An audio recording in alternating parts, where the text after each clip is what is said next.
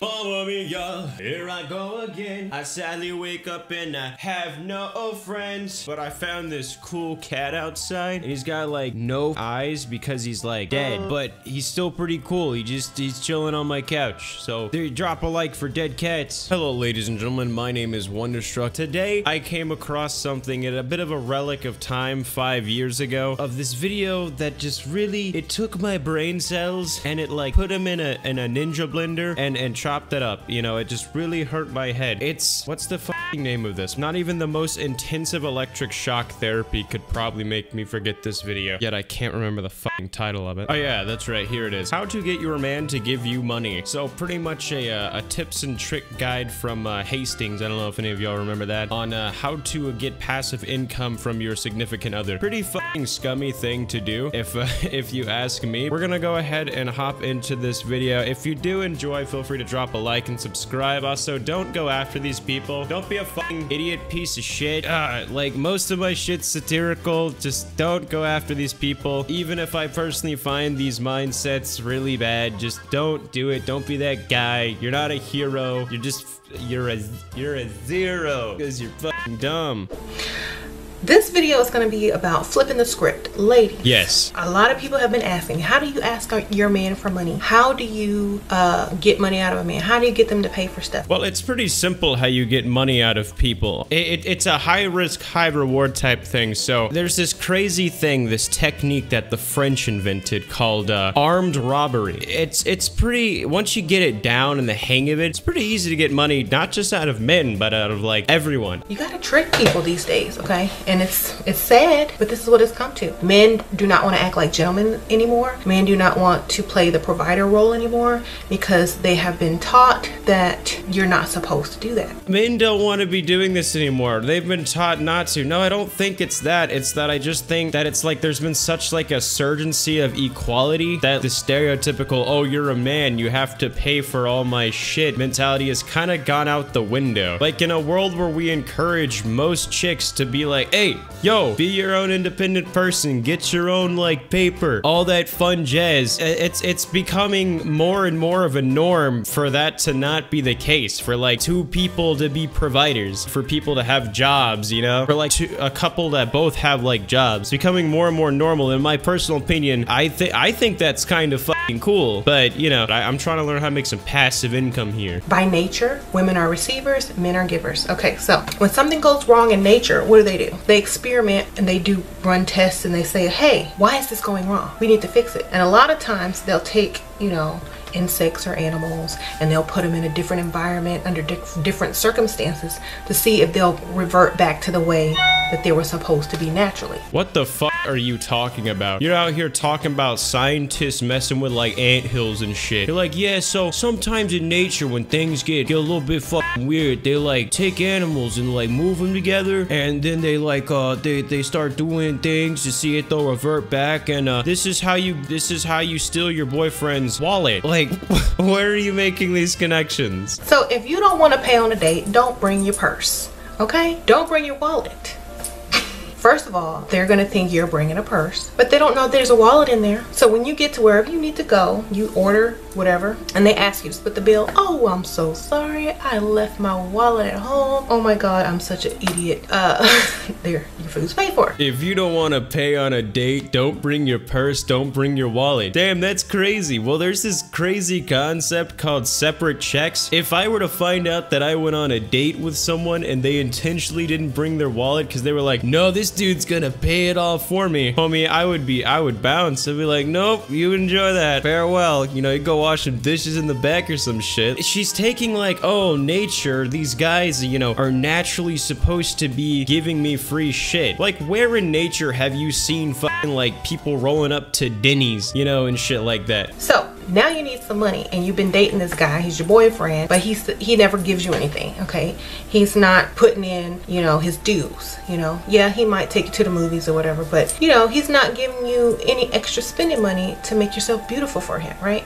Your friend down the street her she's not even as cute as you but her boyfriend is giving her money like you deserve some too right so let's get let's let's get into it. How do you get money from a man? Okay, so this right here just opens up the true character, the true nature of this lady. She's like, oh, well, I'm beautiful. I deserve some money, you know? Because she's like, oh, your friend down the street, she's not as good looking as, as you, but she's getting money. Where's my money for being attractive? Okay, first off, you're not fucking entitled to money. If you want money and you want to buy things, unless you have something that is severely preventing you from doing so, that is up to you. You want a fucking PlayStation? Go get a fucking dog ass job and get, you know, work for that shit. You don't just get shit just because you have good features, you know, unless you are like a contracted model. Like, that is your job. Like, you are a fucking model or some shit like that. Then yeah, get paid to look good. But if, if you're just sitting around the house throwing on green eyeliner and shit like that, and you're like, oh yeah, I'm a bad bitch. Where's my $500,000? Well, he takes me to the movies sometimes, but he doesn't pay my fucking rent. Yeah, because maybe this guy, you know, was under the notion that you're a fucking adult.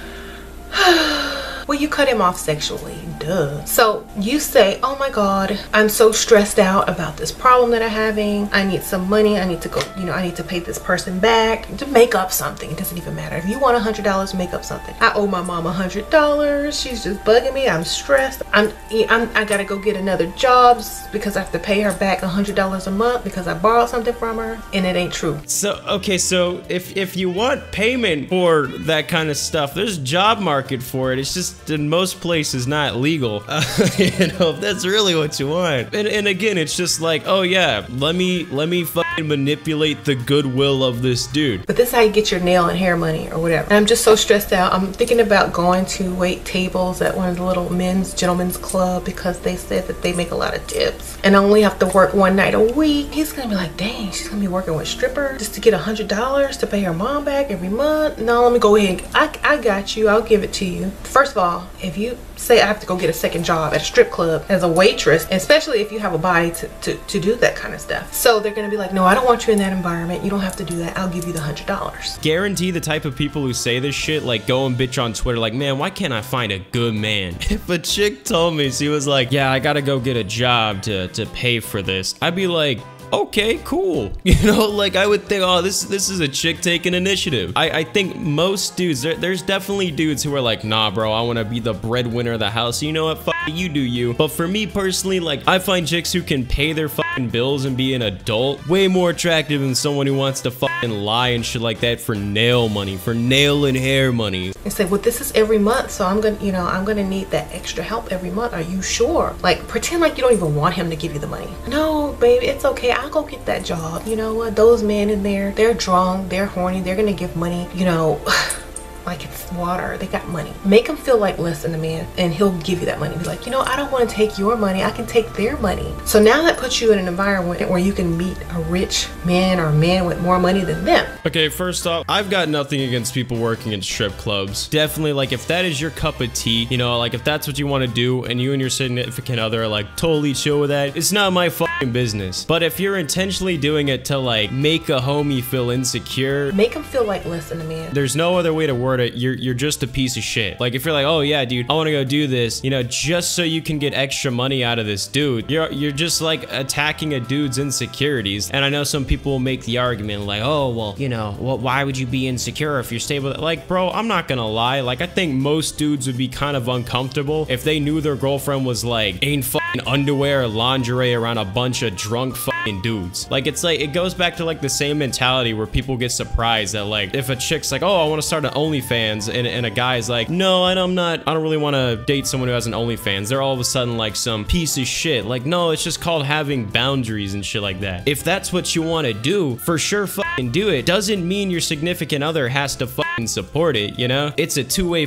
street. I don't see why that's like such a hard concept. You don't look like, you know, you can pull off being a waitress in a strip club or getting the attention from certain type of men, then you insert someone else in his spot. Put your ex-boyfriend in but not directly indirectly. My ex-boyfriend's cousin, name a girl, or my ex-boyfriend's mother, she always told me if I ever needed anything, I could come to her. If he knows that you're gonna go borrow money from an ex-boyfriend's mother or cousin or whatever, he's gonna feel like they have money and she'll try to talk you back to going with her son or you might accidentally see him while you're over there or she might call and tell oh she needs money she must not be with any type of you know decent man because she coming to me for money Okay, so go back to go back to your ex. Okay, first off, now now you're just manipulating not even like your current boyfriend, but like a fucking ex. Like you're trying to throw in all this just for in your mind a hundred dollars. Getting a job and being 12 times more respectable as a person is apparently too hard to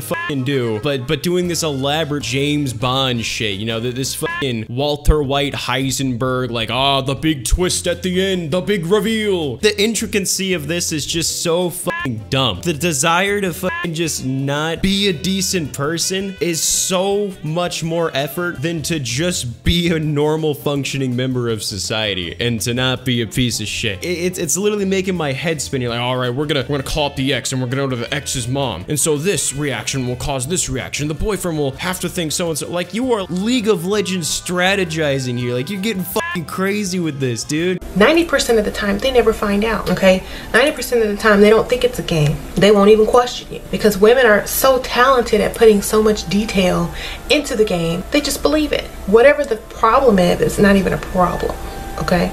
It's a way to get what you want. It's called manipulation. I'm not ashamed to, to say manipulation works because everyone knows manipulation works okay? If your morals are so high and so above this and this and that why are you with a broke guy? And why are you complaining about it? It should only be about love. So if you have a problem with manipulation and tricking guys but you want money from a guy this this this and that but you're not willing to do to get what it takes by tricking him because you know he's not going to give it to you any other way then you don't really want that money. Um, well, see, that's the, that's the thing is that most people who have high morals, which I don't even think that that's like, oh, I'm holier than fucking thou. I think that's just status quo to be like, oh, I don't want to manipulate people and use them and only want them for their money. To be like, oh, well, if if you have such good morals, why are you with a broke guy? You, you just answered the fucking question yourself, like, oh, if you have good morals, yeah, because you have good morals. Because there's this crazy concept of being with someone not because of a paycheck or a lifestyle that they provide, of being with them because of the way they make you feel. It's it's not a wild fucking concept. Maybe I just don't fucking get it. Maybe I, maybe I'm dumb as shit. I swear to God, this video is gonna sound like a like a fucking emergency alert system with how many blurs I have to put in this shit. Anyways, we're not gonna watch the entirety of the video because it's essentially this type of shit just regurgitated over and over. Hope you guys enjoyed. It was really fun to have you here. If you liked the video, make sure to drop a like and subscribe down below as it does help out the channel. Uh, make sure to follow me on Twitter and Instagram down below and make sure to send me a picture of your pet so I can retweet it. Anyways, without further ado, I'll be here next Wednesday and you take it easy.